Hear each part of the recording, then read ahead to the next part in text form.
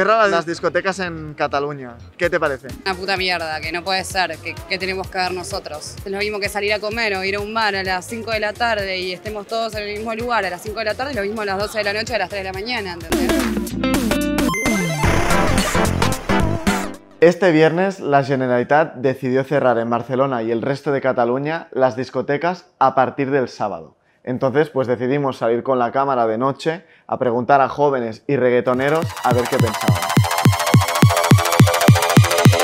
Pero no toques el micro, no, no toques el micro. ¿Qué te parece que vayan a cerrar las discotecas? No me parece bien porque hay mucha gente que vive de ello. Barcelona también es una gran atracción para turistas y no van a venir tanto si saben que no tienen bares de copas y discotecas.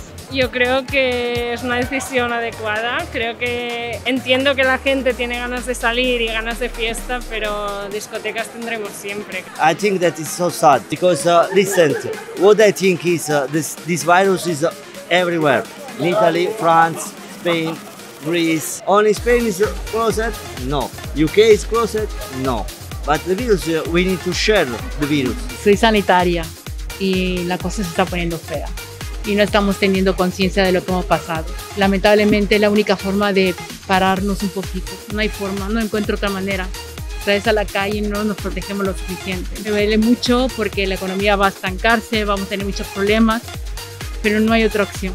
De hecho, como bailarina, eh, te digo que una de las medidas más preocupantes que puede tener un gobierno o un país contra una sociedad es reprimir el arte y la cultura porque está reprimiendo la expresión y cuando tú quitas la expresión ya es que realmente capas a la sociedad. Why I came here and why I fell in love with the city is because the city is full of life. The lifeblood of the city is all the cafes. If you film around here, you can see everybody's having a good time.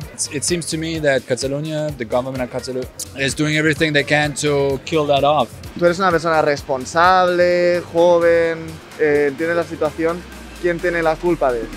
Tampoco se trata de echar culpas a nadie, siendo que a priori el- la, la única solución que, que puede haber es controlarlo en la medida de lo posible. O sea, ¿creéis que la culpa la tiene el alcohol?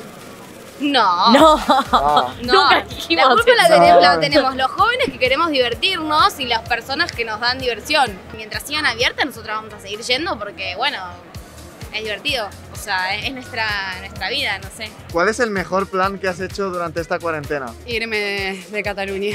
Fin de pasado que hice una reunión con seis amigos en mi, en mi casa de, de la montaña.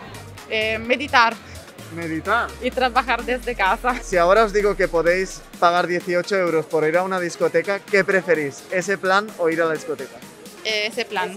Plan de peli en casa. Si es una discoteca en Cataluña sin aforo limitado, o sea que esté full llena de gente, te pago los 18 euros. No tengo ningún problema, pero que valga la pena. No me hagas parte 18 euros con 15 personas en, un- en una discoteca.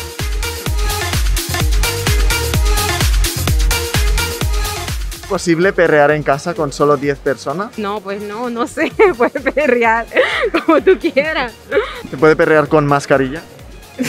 Yo digo que sí. Póntelo en casa, disfruta a tope, cierra los ojos y, y baila. Que siempre se puede, hay que Que siempre, que invite un, dos, tres amigos, hasta Música. diez, música y listo.